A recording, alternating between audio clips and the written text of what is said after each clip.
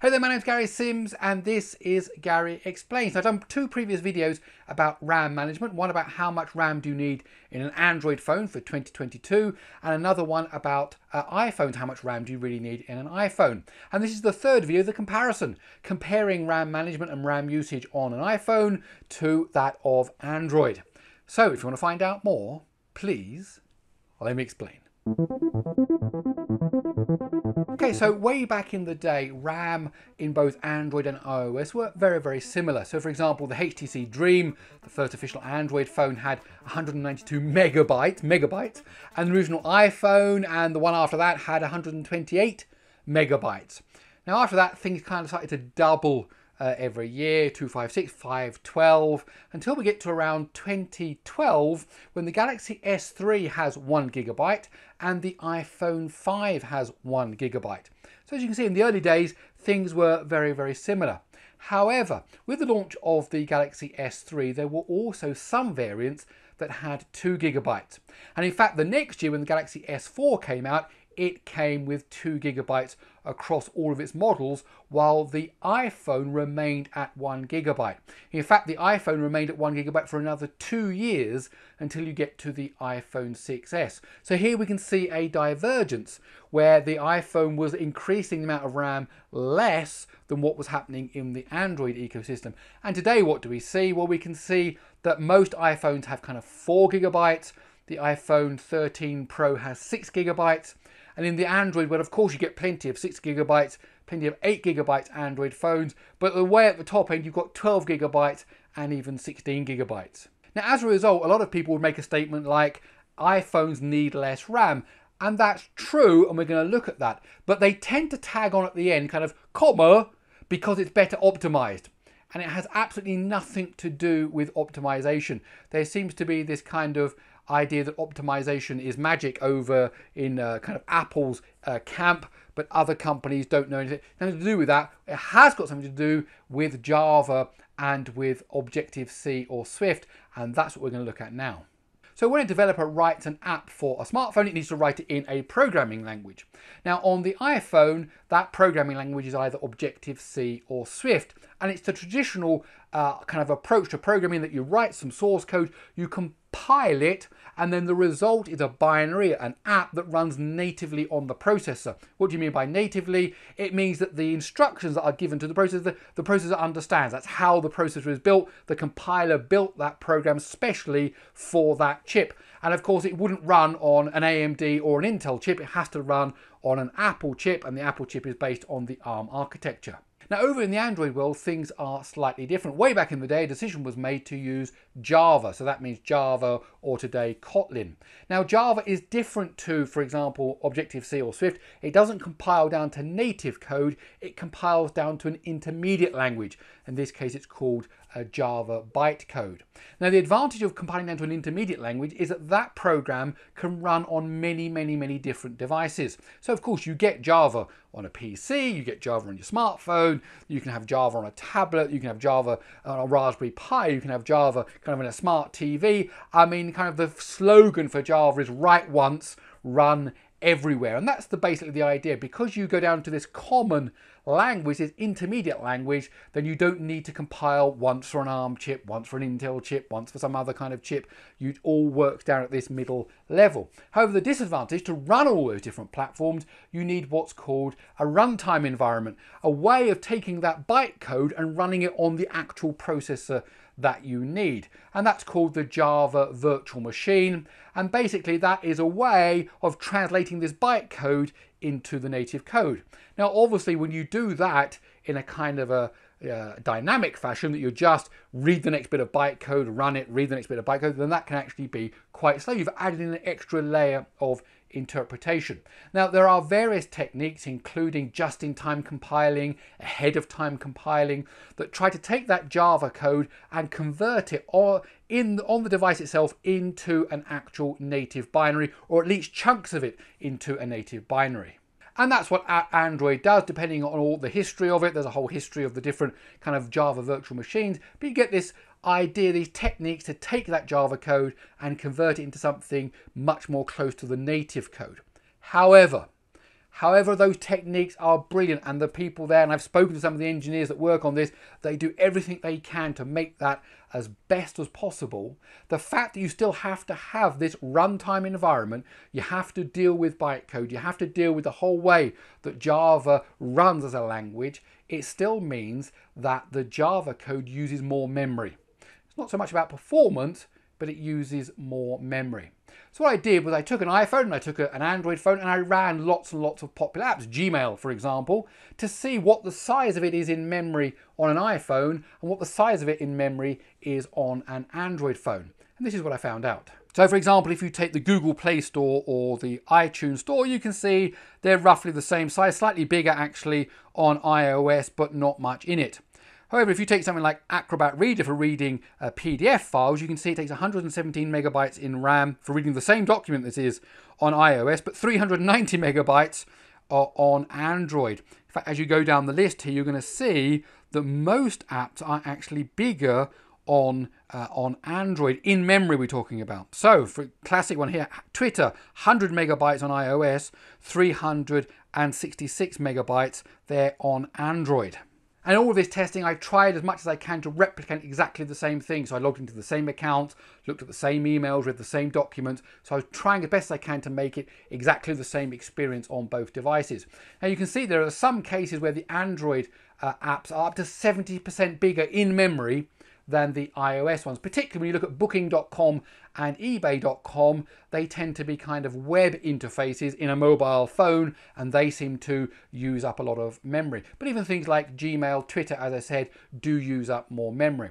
So on average, uh, Android apps are 40% larger in terms of memory usage than iOS uh, phones. So that basically means that if you had an iPhone with you know, six gigabytes of memory, you're going to need 40% more in an Android phone to get the same level of memory management, the same number of apps remaining in memory. So really six gigabytes on the iPhone is equivalent to kind of eight gigabytes on an Android phone, even more if the particular apps you use a lot are actually, you know, in that 70% bracket like we saw with booking.com and eBay.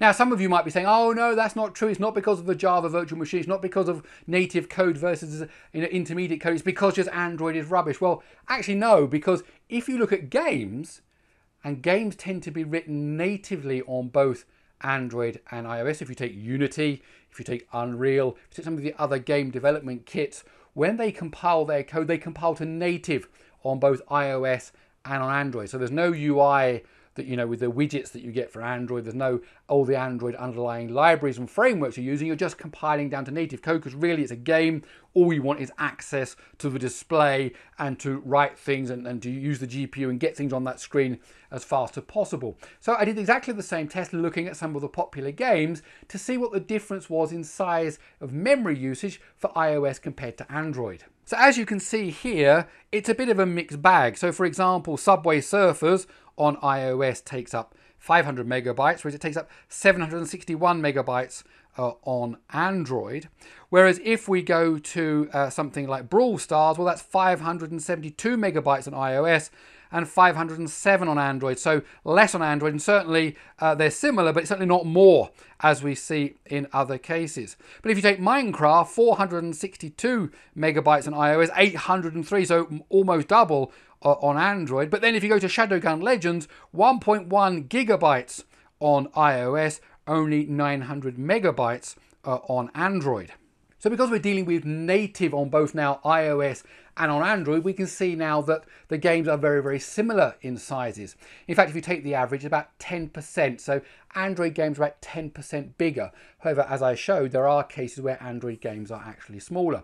And once you kind of get into 10%, then other factors are coming in. You talk about compiler versions, textures, texture resolution, texture compression, screen resolutions, you know, OpenGL ES versus Metal, all these other kind of things where that 10% can kind of, you know, be argued one way or another. But it's certainly very different to the situation that we have with apps.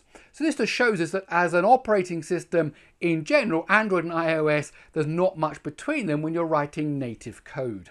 Now, of course, memory is a finite resource. So on Android and on iOS, whether it's games or apps, what happens is when you start a new game or app, a space has to be found in memory. If there is free memory, the app or game can be loaded into it. Now, at some point, there is, because it's a finite resource, there won't be enough. You've got all these other apps running, all these other games running, and there won't be enough space. Now, both Android and iOS do exactly the same thing in this situation. They try to compress some of the memory that's already being used. So both Android and iOS will look at all the memory. It's called pages. They divide them up into blocks called pages. And it says, well, that page hasn't been used for quite a while it chances are it's not going to be used, so I'll compress it. So it takes that page, compresses it, let's say 50% compression if you can get that, and then puts it back into memory, which 50% of that space has now become free. And if you do that enough, you can start to free yourself up 10, 20, 30, 40, 100 megabytes, 200 megabytes, and now you've got enough space to launch this new game or app. And Android and iOS do exactly the same thing. They do it in different ways on Android, it's called you know ZRAM, so it's swapping to compress memory. Uh, iOS has its uh, memory compression uh, algorithms, but basically the same idea. You compress memory so that you can squeeze in others. And both of them have to decompress that memory if it wants to access that page again. So it picked a page, it said, I'm going to compress that. And then later on, if you swap to that app, it doesn't actually have to take that page, decompress it before it can be used. Same on both systems and both systems will try to compress as much as they can and when nothing else can be compressed, when it doesn't make any sense to compress anything because it's, it's so new or there is no more compression to be done, then both of them resort to killing off other apps. And I talked about this in depth in both my Android and my iOS video. There gets to a point in both operating systems where it says I've got nothing else to do, I have to kill an app. It's called killing or terminating an app on Android, jettisoning an app on iOS. They get booted out of memory and then their free space is then used to load the new app. Now I've covered in detail how many apps you can have in memory, how many games you can have in memory in those previous two videos. It's worth pointing out this when it comes to apps on both the iPhone SE with only its 3 gigabytes and let's say a Pixel 3 XL with 4 gigabytes, you can run 6, 7, 8, 9, 10 apps all in memory at the same time and it's not a problem. So if you switch between your Twitter and Instagram and then to Gmail and then you know maybe one or two web pages, it's going to be okay even with a small amount of RAM.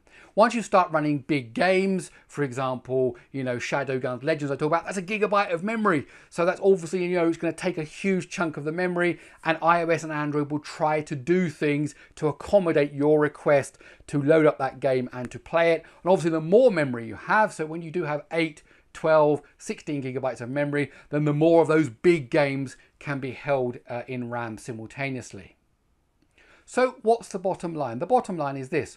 Because iOS uses native compilers, Objective-C and Swift, the programs tend to be smaller when it comes to apps. That means for people who use productivity apps, you can get away with less RAM in an iPhone. And so really a four gigabyte iPhone is okay. Six gigabytes is certainly uh, good for future proofing and you're not going to have much problem switching between those apps.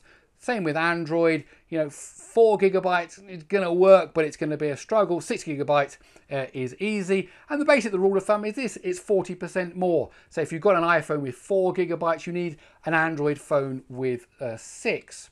Now, having said that, when it comes to games, of course, games take up big amounts of memory. And if you are a keen gamer and you switch between several games during a day, depending on, you know, whether you're waiting to catch a train or whether you're downtime at home or whatever it is that how you play the games, then maybe you're going to want to have more memory on both operating systems because both of them, Shadowgun Legend or Genshin Impact, they're big on both platforms and they're big to the kind of the same kind of size. There's not a big difference between them. So you're going to need that extra memory. And this is where something like uh, the Galaxy S21 Ultra with 12 gigabytes is actually quite a sweet spot uh, on Android. Uh, as I said, uh, kind of 8 gigabytes would work depending on the phone. Because one thing to notice about Android is because there are so many different manufacturers, they do tweak the versions of Android they use to kill off apps more aggressively or not. And I cover that in that Android video.